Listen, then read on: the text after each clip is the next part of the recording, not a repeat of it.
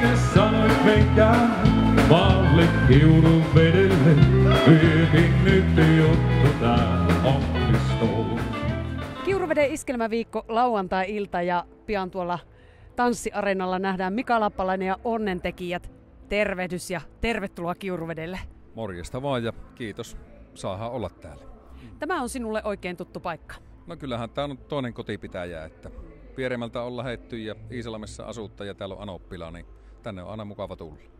Tuossa äsken jo muutaman setin vetäisitte. Millainen tunnelma oli esiintyä? No olihan se tosi hyvä tunnelma, paljon porukkata ja tunnelma katossa ja erittäin hyvä meininki.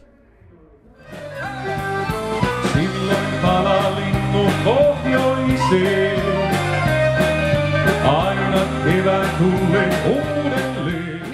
Kulunut vuosi on ollut? No kyllä se on ollut ihan mukava.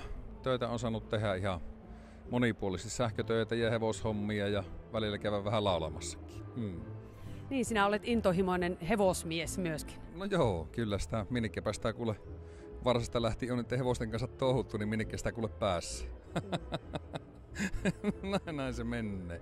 Mm. Kiitoksia oikein paljon. Oikein hyvää keikkaa ja hyvää kesää. Kiitos. Ei muuta kuin pysykää kanavalla ja nähellä.